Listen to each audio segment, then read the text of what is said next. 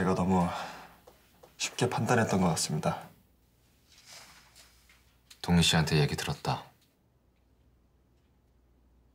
나라도 그런 상황이었다면 패갖고 나섰을 거야.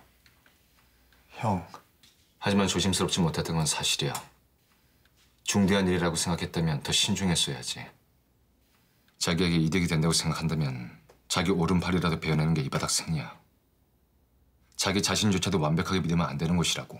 발을 들인 순간부터는 각오는 했던 일입니다. 하지만 형, 저는 어떻게 돼도 상관없지만 동희 씨 이만큼은 계획대로 처리해야 합니다. 제가 잡히는 순간부터 밤광진은 박장호 회장님을 다른 곳으로 옮기려고 할 거예요. 회장님을 놓치면 이제 돌이킬 수 없게 돼요. 넌 너는 어떻게 하려고?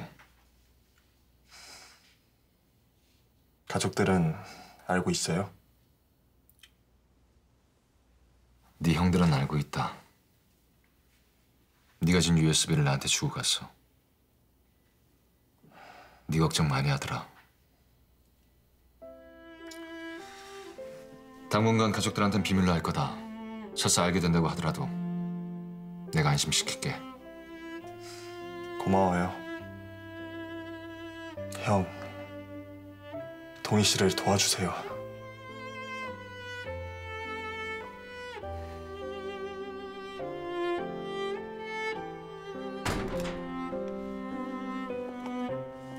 대표님, 상우는 어떻습니까?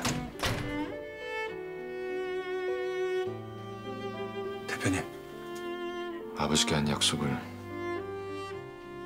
또 지키지 못했습니다. 상으로도 지키지 못했어요.